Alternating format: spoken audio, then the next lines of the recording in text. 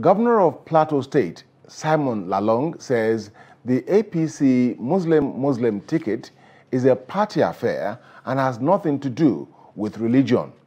Governor Lalong, who is also the Director General, DG of the All Progressives Congress Presidential Campaign Organization, is not ready to give up the position. The governor spoke on Wednesday with newsmen at State House Abuja after a closed-door meeting with President Muhammadu Buhari. Kehinde Amodu reports. As the political race gathers steam ahead of the 2023 elections, some decisions by political players have taken the electorate completely by surprise. For instance, no one believed that given the charged atmosphere, any politician would attempt a same-faith ticket for the presidency. It is happening, and despite the huge opposition to it, the ruling All Progressives Congress seems determined to ride out the storm. When it comes to politics, it's a matter of choice, matter of interest. In every political party, you have Christians and you have Muslims. In every political party, there's opportunity for you to vote for a Christian or to vote for a Muslim. If you don't want a Muslim, you wait until the electoral day, you go and vote. It be your choice.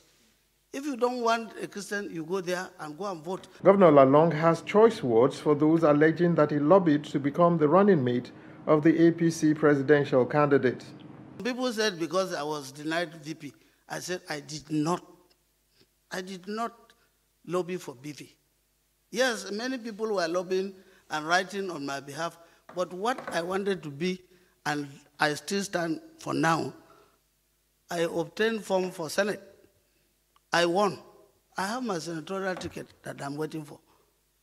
So if at any time some people who wanted to be VP lost out and they are using religion, they should not use me to help them. Equally controversial is the rebuilding of the Jos Central Market, which has been subsumed by religious undertones.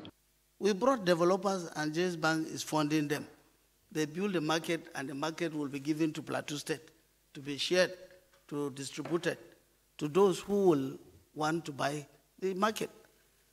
And then a National Assembly member who has not contributed anything to the state the only thing he wants to contribute to get reelected is to go and start spreading false allegation that the market, I had sold the market for 40 years to Jaiz Bank.